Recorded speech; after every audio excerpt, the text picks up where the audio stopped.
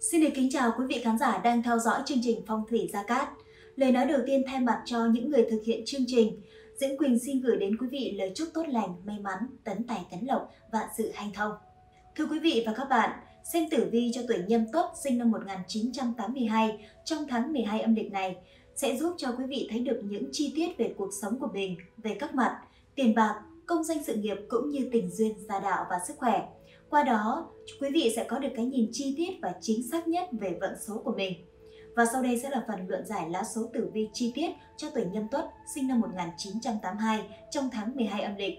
Qua phần luận giải này, thầy Gia Cát cũng sẽ đưa ra các phương pháp hóa giải về tử vi cho người tuổi Nhâm Tuất. Xin mời quý vị cùng theo dõi. Sau đây là phần tổng quan của các gia chủ tuổi Nhâm Tuất sinh năm 1982 trong tháng 12 âm lịch năm 2021. Những gia chủ tuổi Nhâm Tuất vốn thông minh và giỏi chịu đựng. Hầu hết người tuổi Nhâm Tuất đều nhận được rất nhiều sự quan tâm và yêu thích, nhưng bản chất những người này lại khá nóng nảy và cứng đầu mà họ cần tiết chế để thăng tiến trong sự nghiệp. Những người tuổi Nhâm Tuất làm bất kỳ điều gì cũng đều đạt được những thành tựu nhất định. Trong công việc, người tuổi Nhâm Tuất sinh năm 1982, mệnh Đại Hải Thủy là người khiêm nhường và ham học hỏi. Họ coi trọng ý kiến của người đi trước và tích cực học hỏi kinh nghiệm của tiền bối để tự bồi dưỡng cho mình. Cũng nhờ thế mà con giáp này tiến bộ rất nhanh trên con đường mình đã chọn và có được những điều mình mong muốn bằng chính sức của mình. Họ cũng là những người có khả năng nhìn xa trông rộng, biết đặt ra những kế hoạch dài hơi có lợi cho mình. Họ đã làm gì thì họ sẽ làm đến cùng, cũng yêu và đam mê công việc của mình. Tất cả mọi việc họ làm đều theo kế hoạch, nhờ thế mà khả năng thành công cũng cao hơn. Tử vi tháng 12 âm lịch của 12 con giáp cho rằng vận trình của tuổi nhâm tuất trong tháng này không thực sự tốt, áp lực từ những công việc khiến cho bạn mệt mỏi cả về thể xác và tinh thần. Nếu không có chế độ sinh hoạt hợp lý, sức khỏe của bạn sẽ bị ảnh hưởng rất nhiều ở hiện tại và sau này. Công việc không ổn định dẫn đến tình hình tài chính cũng khá ảm đạm. Trong tháng này, các gia chủ tuổi nhâm tuất cần phải có kế hoạch chi tiêu hợp lý, tránh tình trạng thiếu trước hụt sau. Khi có công việc cần đến tiền lại không có. Nhâm dương thủy gặp tân âm kim nên gọi là thương quan, nghĩa là bản thân bị khắc chế. Đối với các gia chủ tuổi nhâm tuất trong tháng này cần phải cẩn trọng hết sức các mối quan hệ xung quanh, tránh vì những mâu thuẫn nhỏ mà xảy ra xung đột không đáng có. Khi gặp phải vấn đề cần phải giữ bình tĩnh để đưa ra phương án hợp lý để tránh gặp phải những thị phi không cần thiết và làm phật lòng những người xung quanh. Thứ nhất về sự nghiệp quan vận. Những người đang đi làm, sự mệt mỏi chán trường sẽ làm giảm sút hiệu quả công việc. Mọi sự đóng góp của bạn không được cấp trên công nhận, sự cố gắng của bạn như là dã tràng xe cát biển đông. Tuy nhiên đừng lấy đó làm lý do để lười biếng chỉnh mảng, hình thành thói quen không tốt cho bản thân.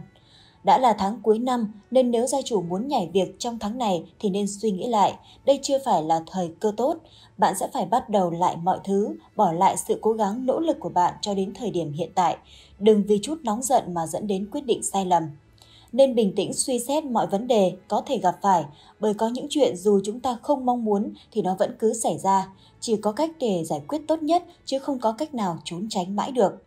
Để tiếp tục cải thiện vận may trong sự nghiệp vào năm 2021, thầy Gia Cát khuyên gia chủ hãy luôn mang theo bên mình vòng tam hợp quý nhân, dần, ngọ tuất, giúp hóa giải xung sát, chiêu mời quý nhân, quý thần tương trợ, dùng để hóa giải thị phi, tiểu nhân hãm hại. Khi những điều xấu không còn, điều tốt đẹp sẽ đến với bạn, mà từ đó tài lộc kéo đến ầm ầm, may mắn không gì bằng. Đặc biệt, vòng tam hợp quý nhân cũng được thầy Gia Cát trực tiếp khai quang, trì chú và xem ngày sử dụng cho mệnh chủ để vật phẩm mang lại công năng phong thủy tốt nhất. Thứ hai, về mặt tài lộc và tiền bạc, người tuổi nhâm tuất trong tháng 12 âm lịch này nên chi tiêu tiết kiệm vì tài lộc vẫn chưa thực sự như ý, có nhiều chuyện xảy ra, công việc kém suôn sẻ, bản mệnh sẽ gặp nhiều khó khăn trong mong muốn nâng cao thu nhập cho mình. Bạn biết lượng sức mình, biết bản thân đang ở đâu, có ưu thế gì và cần phải làm sao để đạt được mục tiêu mình mong muốn. Tuy nhiên, đôi khi những gia chủ tuổi nhâm tuất lại chưa biết linh hoạt để giải tỏa bớt áp lực cho mình. Bạn chỉ chăm chăm làm việc mà không giải trí, thư giãn tinh thần nên có thể sẽ cảm thấy mệt mỏi nên biết nghỉ ngơi cùng với làm việc để tái tạo sức lao động, chớ nên tham công tiếc việc quá mức, bởi khi cơ thể đã mệt mỏi thì dù có cố gắng hết mức làm việc cũng khó đạt được hiệu quả cao. Thứ ba, về mặt sức khỏe. Trong tháng 12 âm lịch, sức khỏe của người tuổi nhâm tuất khá ổn định. Các gia chủ nhâm tuất có chút phiền muộn do không có sự đồng tình, ủng hộ của cấp trên cũng như đồng nghiệp. Thu nhập cũng thấp hơn so với các tháng trước, nên bản thân lo lắng chi tiêu rất nhiều. Những gia chủ tuổi nhâm tuất không nên quá cận lực kiếm tiền, mà quên mất chăm sóc sức khỏe bản thân. Bạn nên sống khoa học hơn, quy củ hơn, cân bằng công việc và cuộc sống sẽ giúp bạn không những thành công mà còn có thể hưởng thụ trọn vẹn thành quả của mình sau những năm tháng vất vả lao động. Gia chủ Nhâm Tuất sinh năm 1982 hãy luôn mang theo bên mình pháp khí phong thủy, minh quang, pháp bảo. Đây chính là vật phẩm phong thủy có tác dụng kỵ tà hóa sát, đem lại may mắn, bình an và sức khỏe cho gia chủ. Để vật phẩm phát huy được tác dụng tốt nhất, thầy Gia Cát sẽ khai quang trì chú và xem ngày sử dụng vật phẩm theo tuổi của mệnh chủ nhâm tuất sinh năm 1982. Thứ tư, về mặt tình cảm gia đạo. Đối với nhâm tuất sinh năm 1982, vận trình tình cảm không được tốt lắm. Năm mệnh đừng mất nhiều thời gian vào chuyện yêu đương, mà hãy dành thời gian và tinh thần cho công việc, thành quả thu được sẽ tốt hơn nhiều. Đừng cố chấp mà bắt đầu một cuộc tình mới khi bản thân còn chưa sẵn sàng. Nữ mệnh chủ tuổi nhân tuất, bạn là một người nhạy cảm trong chuyện tình yêu, luôn là người chịu thiệt thòi. Trong tháng này tình cảm của hai bạn sẽ tốt đẹp và êm đềm hơn rất nhiều. Tuy nhiên tử vi tháng này khuyên bạn không nên suy nghĩ mọi chuyện theo hướng tiêu cực, ngờ vực, suy đoán, sẽ xảy ra những mâu thuẫn không đáng có. Tử vi tuổi nhâm tuất từng tháng âm lịch năm 2021 cho biết có kẻ thứ ba xuất hiện trong mối quan hệ gia đình bạn. Bạn thực sự bất ngờ khi có vấn đề lớn xảy đến. Tuy nhiên, trong tình huống này bản mệnh chớ nên thể hiện sự suy sụp về tinh thần mà mất kiểm soát về cảm xúc của mình. Tổng quan tháng 12 âm lịch năm 2021, tháng Tân Sửu, năm Tân Sửu. Tháng 12 âm lịch được bắt đầu từ ngày âm lịch từ ngày 1 tháng 12 năm 2021 và kết thúc vào ngày 29 tháng 12 năm 2021, tức ngày 3 tháng 1 năm 2022 đến ngày 31 tháng 1 năm 2022 dương lịch.